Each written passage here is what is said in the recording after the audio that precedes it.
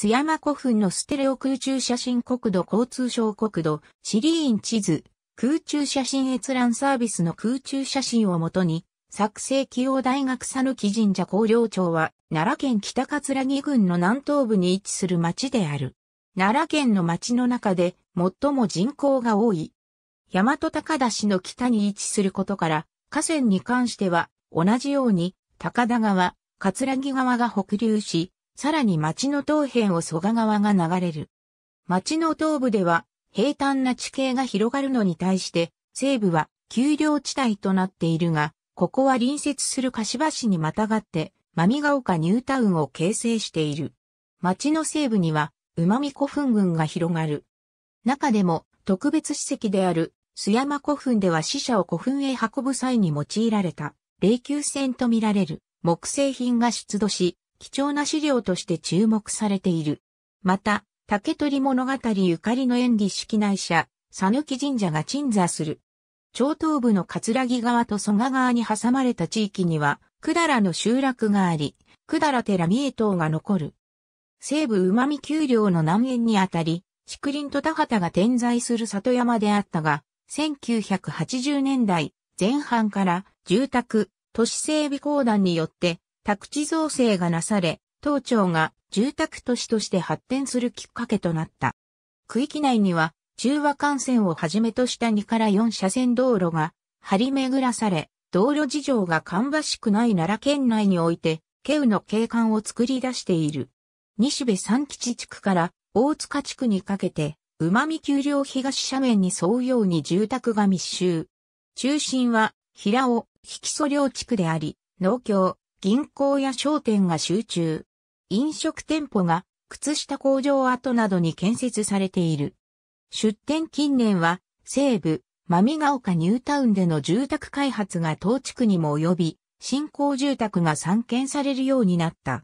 一方、高田川より東側では広大な水田地帯である。ものの、県道大和高田イカルガ線沿道で、郊外型飲食店が急増している。2010年4月23日には、町内のショッピングセンターで最大規模となる泉屋工業店が開業した。秋には各村でだんじり祭りなどが開催される。2010年10月第2土曜日には傘のだんじり祭りが開催される。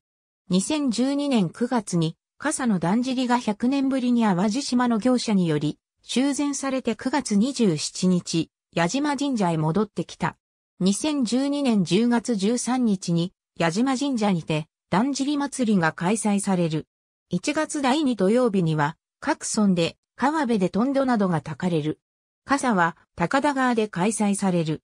中南部町役場が置かれるなど、行政の中心地区であるが、住宅、商店の集積度は低く、のどかな田園地帯である。南郷地区は、看護集落が見られ、旧、瀬波村の中心であった。北部後に、高陵町に編入された区域であり、協業寺を中心とする寺内町として発展。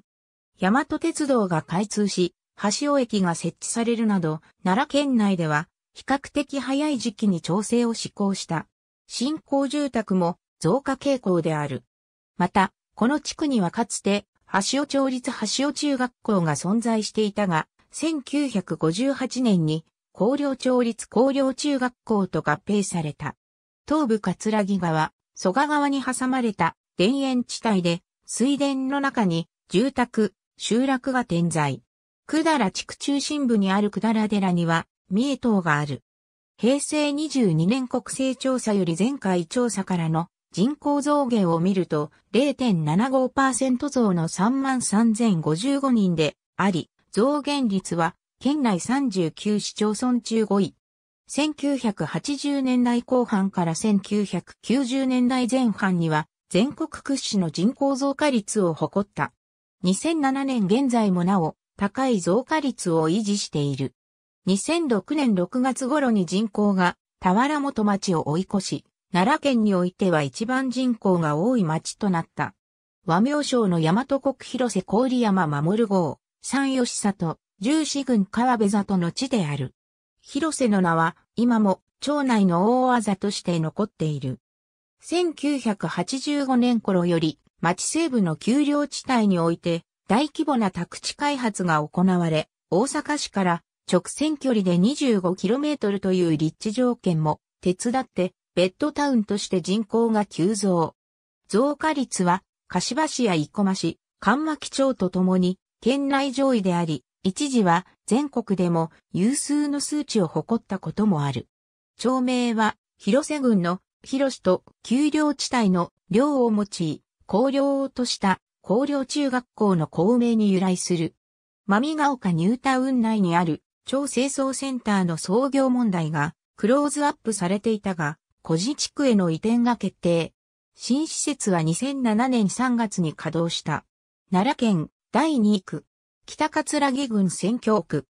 1995年、近鉄プラザまみが丘店、ジョイフル朝日、まみが丘店を各テナントとするショッピングセンター、エコールマミが開業した。また、2010年4月23日には、安倍地区に泉谷工業店が開業。同店舗はスーパーセンター型の店舗で、工業町内においては最大の売り場面積を持つショッピングセンターである。各支店には JA バンク ATM が設置されているほか、工業町役場、エコールマミ、泉谷スーパーセンター工業店にもそれぞれ JA バンク ATM が設置されている。集配業務は大和高田市にある大和高田郵便局が行う。近畿日本鉄道県道なら県道112号、田原本高陵線のうち、高陵町役場前交差点高陵農協前交差点と、それに連続する高陵農協前交差点馬見中4丁目までの町道、柳板大谷線は町出身の柔道家、野村忠宏にちなみ、金メダルロードという別名が制定されている。その他、三吉静香古墳。ありがとうございます。